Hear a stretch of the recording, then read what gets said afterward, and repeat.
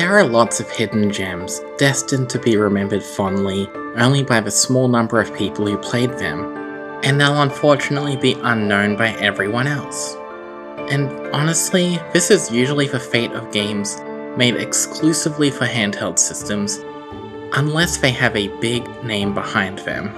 And one of the most notable of the unnoted is Jeanne d'Arc, a tactical RPG by Level 5, back when they were a developer of great PlayStation 2 titles that unfortunately did not crack the mainstream in the West. And this was right before they made something called Professor Layton and became the level 5 most people know today.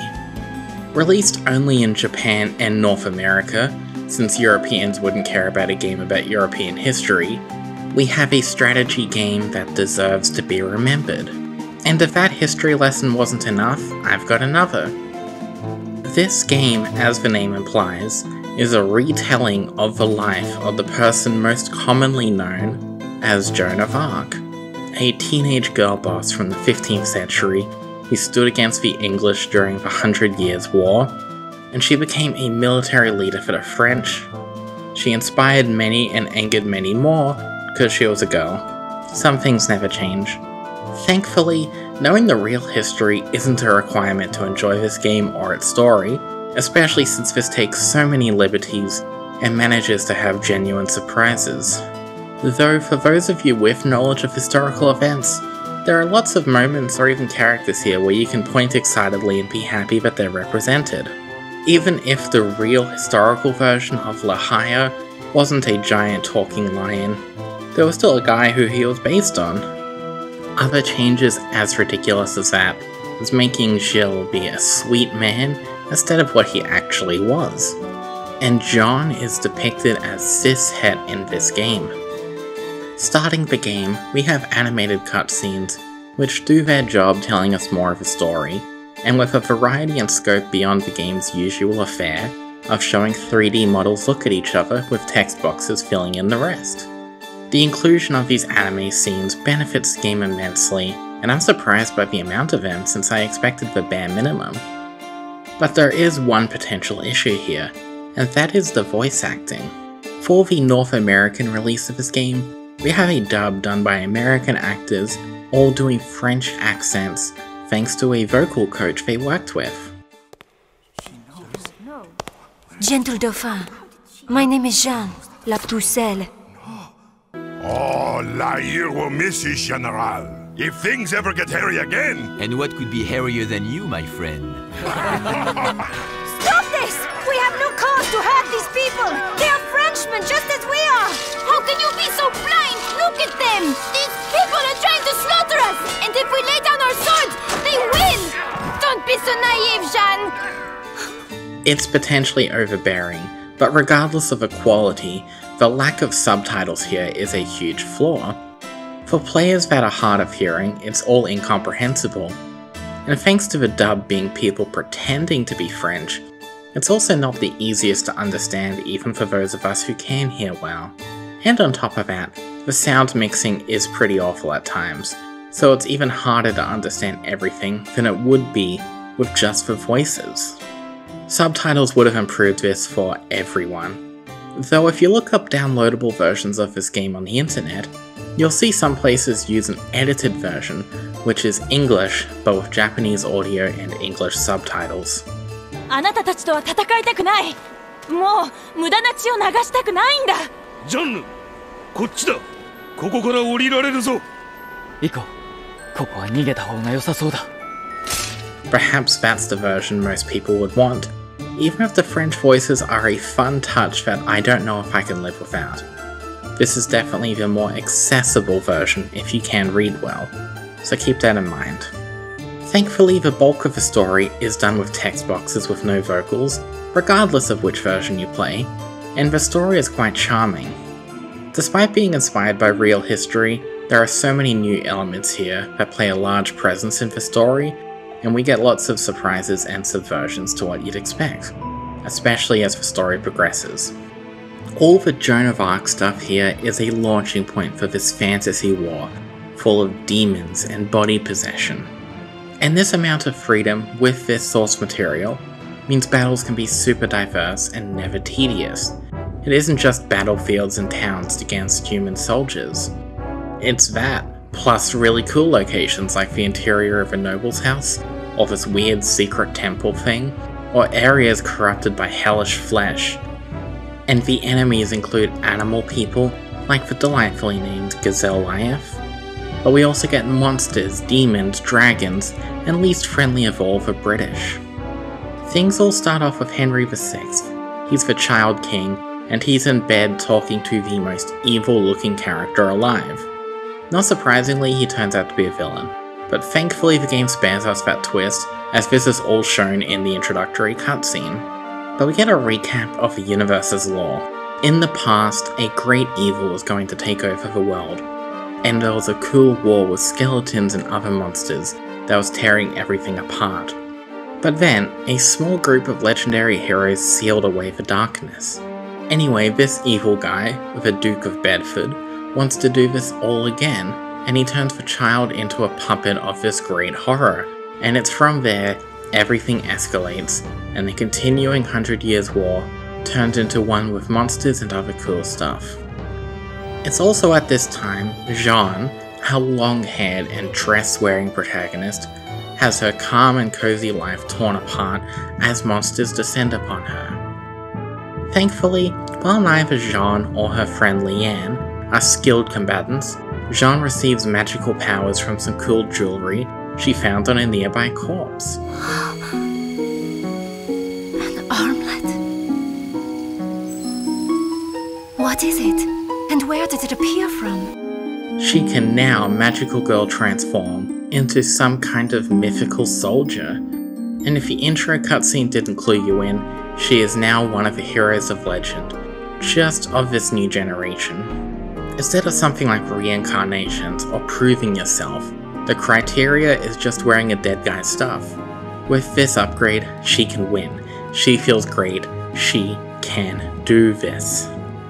These magical apparel prove to be important because our eclectic team eventually encompasses some other people with these magical relics, as well as many other unfortunate souls who don't get magical assists.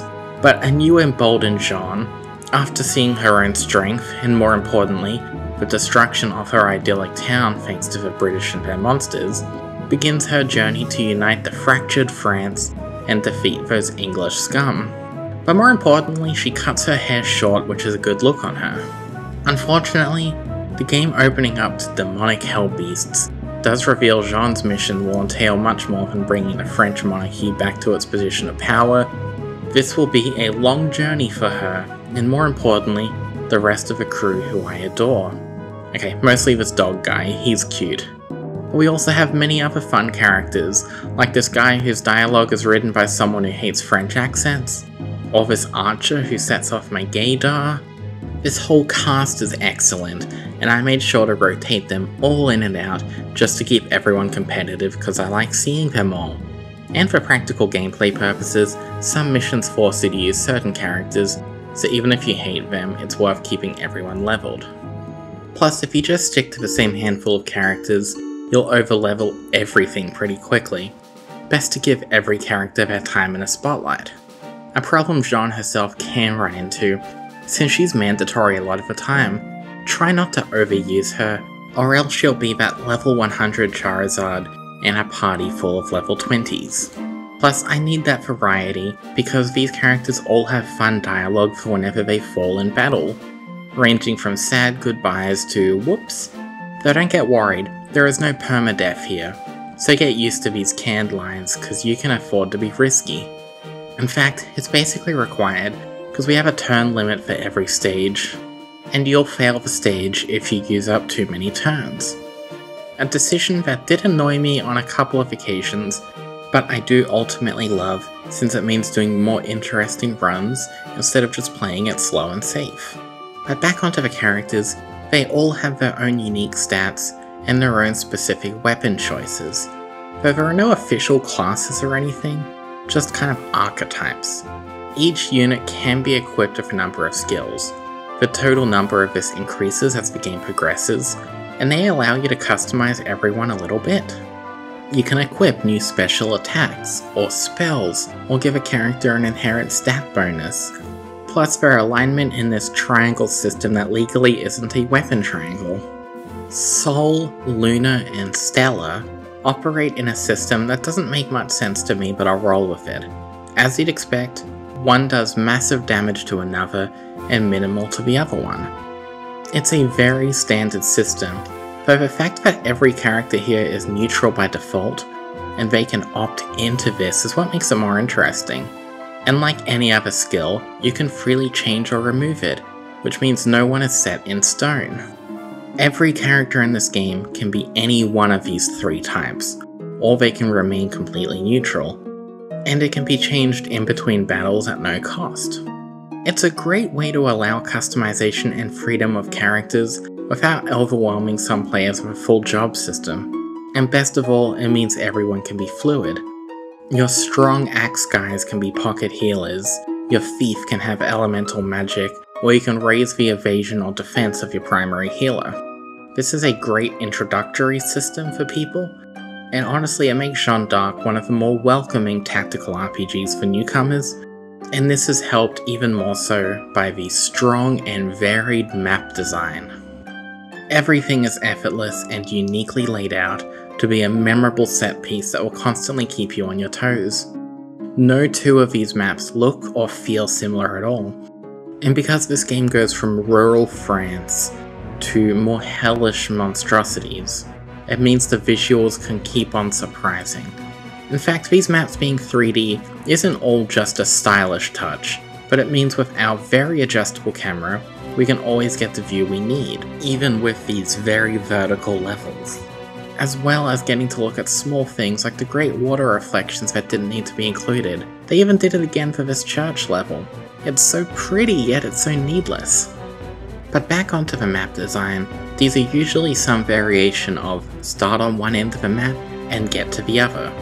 And they usually break up and split into paths that encourage you to break up your own party into two or more chunks. But they manage to make the most of this framework. These levels are all phenomenal. I especially like how they never overuse cool gimmicks. Like early on, we have a sealed fort where we can break down the door, or use ladders to scale the walls. You'd expect that to be a constant system, but no, they don't overdo it since that would limit the map design. This isn't just a game about breaking into English forts. Though ladders and the mechanically very similar bridges are a small mechanic that does reappear on some other missions, including some optional missions on building tops.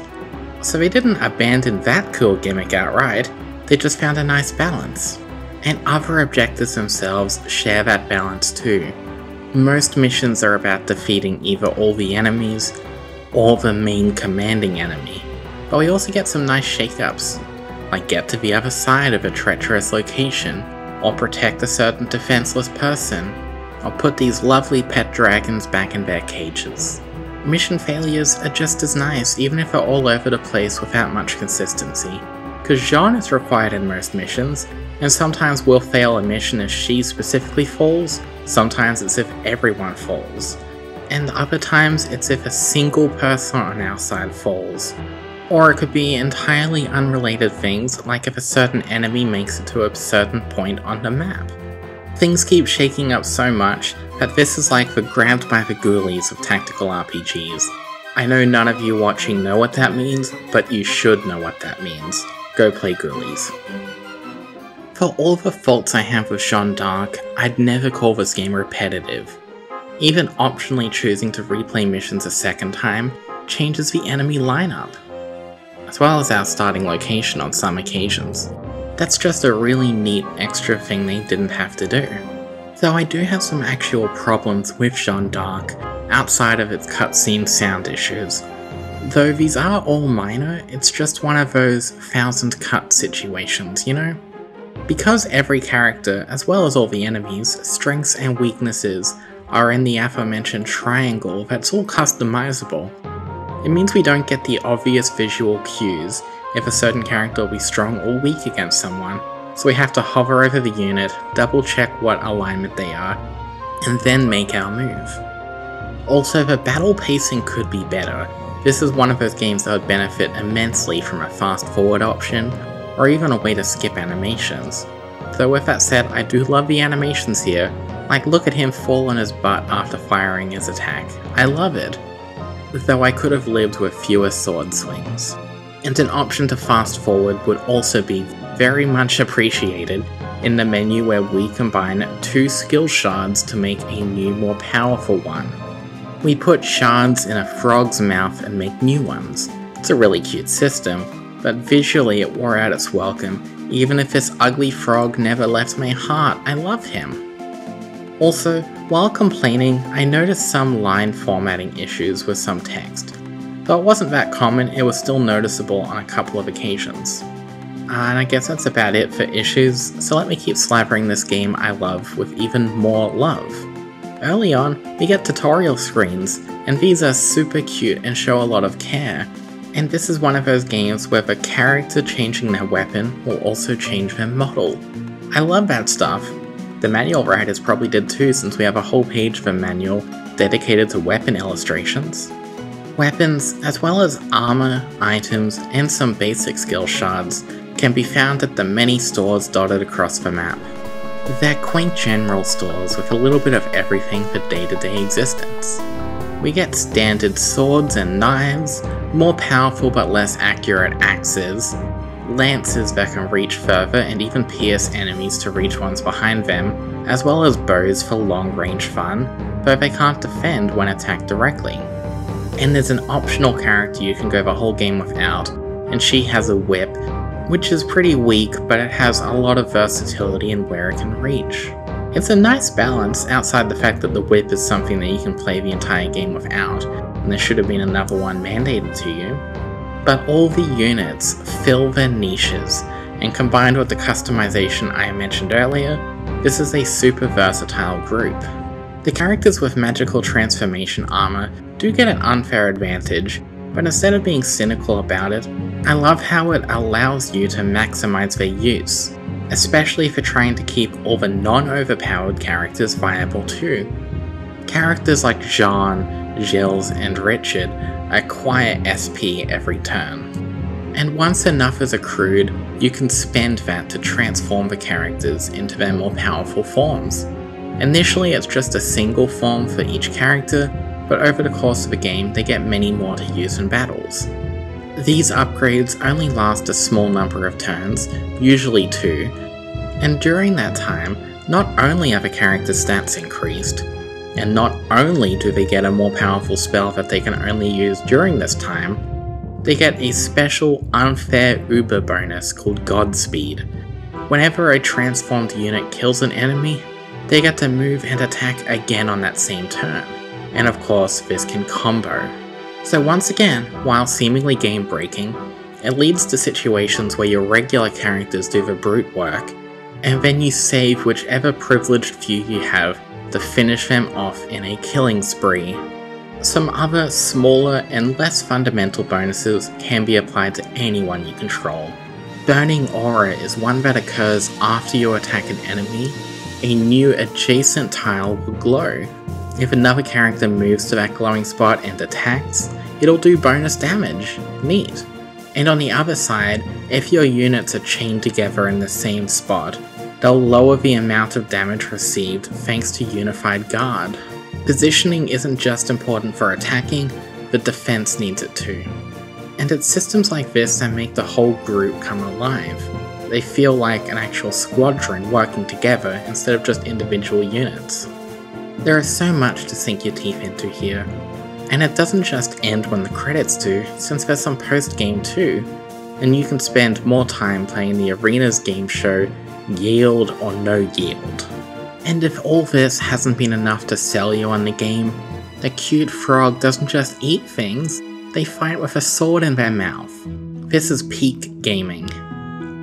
And if you're one of those people who wants to play this but isn't some kind of purist who wants their PSP games to stay at a bad resolution, there's even a fan made 4K version that I'll link in the description. But that isn't for me. I like my games low res even when there are better alternatives. Just like the next video on Star Ocean The First Departure, which is a PSP remake of a Super Famicom classic, and this version received an enhanced port for the Switch and PS4, but I'm choosing to ignore, even though it fixes problems I have with the game.